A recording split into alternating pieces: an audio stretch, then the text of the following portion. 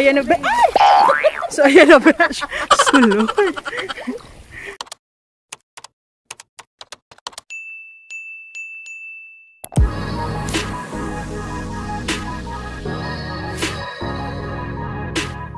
So hi Beshi! Andito tayo ngayon sa Barangay Dugi 2 and kasama natin si Barangay Secretary Sir Eli Bea. So si Sir ang maghahanap sa amin ng guide at sasamahan tayo papunta sa Sa Alangan, Alangan Lagun. Lagoon. Yes. So tara, check natin ang Alangan Lagoon. Let's go!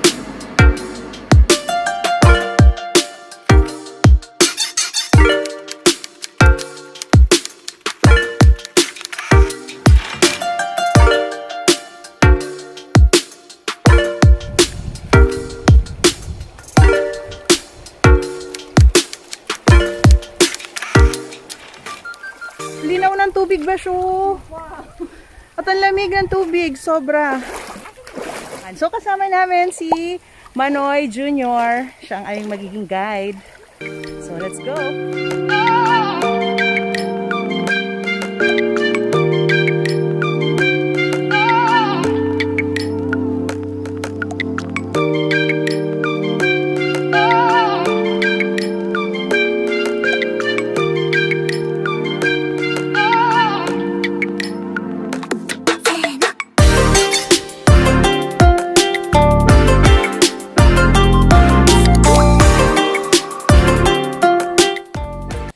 Beshi, look. Sobrang lalaki ng mga bato dito. Imagine. Maraming bato ang dadaanan mo, so you have to be very careful. It's a combination of rock and forest. It's amazing. And look at the forest over there. So beautiful. So tirik na tirik ang araw, Besh. Ha! Pagod is real. Pero susuka. Di susuko. Let's go!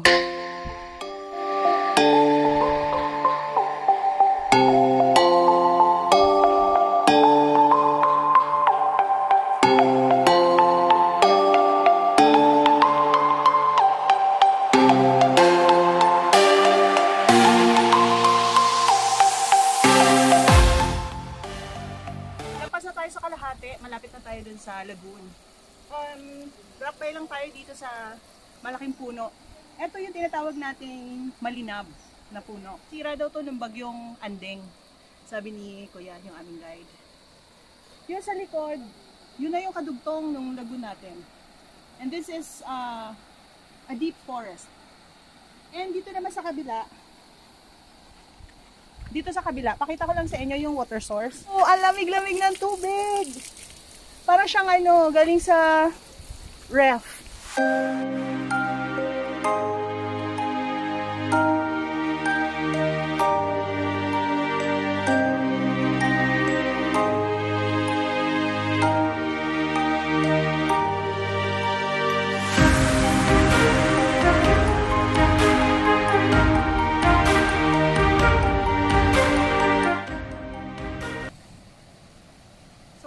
Beshi! Nakikita niyo naman doon sa likod ko, yung view. Reminds me so much of Montalban, Rizal. So, first time ko makapunta dito in my many years in living in this island. It's amazing. You can see the formation at napakalinis ng tubig. Everything is so serene, walang mga tao. And bababa kami doon para makita namin yung, yung ganda ng lugar sa baba.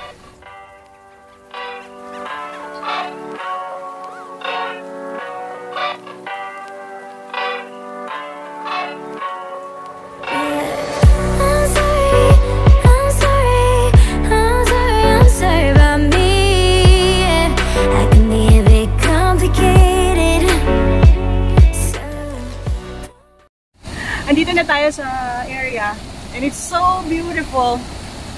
Um, pupunta kami dun sa kabila kasi meron daw doon na falls. Nanig nyo naman yung tunog. May falls doon somewhere. So, papunta kami doon. So, we have to go through this path going towards there and then sa kabila ng bato and then nandun na tayo sa falls.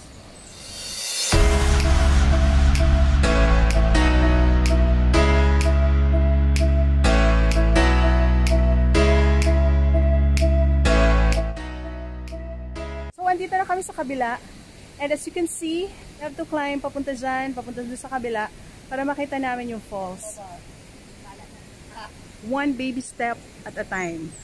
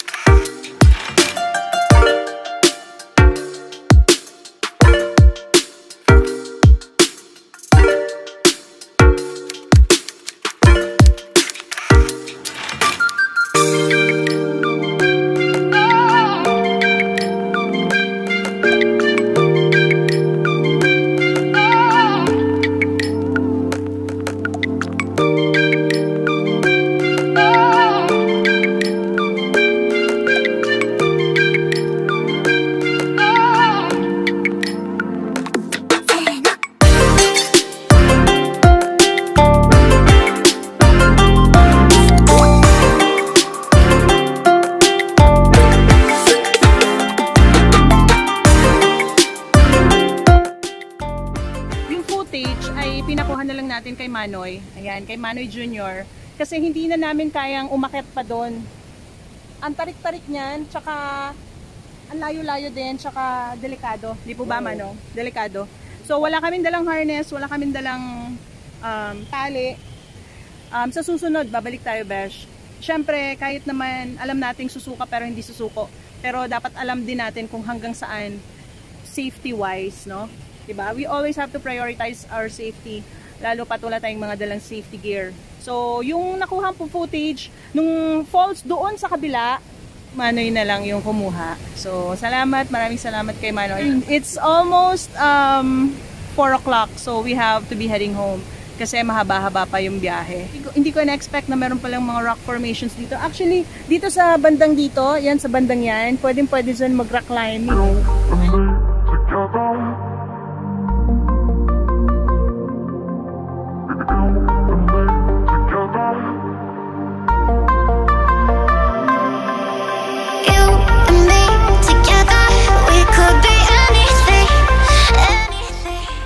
So ayan na Besh, inabot kami ng ulan. And we are on our way back. Pakilala ko sa inyo si Aset. And sa likod niya si Gins. And syempre sa likod si Manay Jr. Inabutan kami ng ulan habang nandun kami sa mga bato. Sobrang dulas Besh. Hindi na lang nung umulan. Lagpas na kami dun sa super taas na bato. But nevertheless, masyado pa rin nakakatakot at sobrang challenging. So basang-basa na kami. So maglalakad na kami papunta dun sa sa barangay. I think mga 30 to 45 minutes and then mag magmomotor na kami papunta sa sa pinaka main main sentro ng Virac. So that will take another 40 minutes, 40 to 45 minutes. Yung mga portions pa na rough road. So that's it about now. It's a fascinating place and pero sobrang mahirap din puntahan. But nevertheless, it's worth it. Ang lakas na naman ng ulan, so we have to rush. Rinig nyo ba yung ano, nag-rumble na yung, ano, yung mga thunder. So we have to go. We'll see you. Smile, sparkle, and shine. Bye!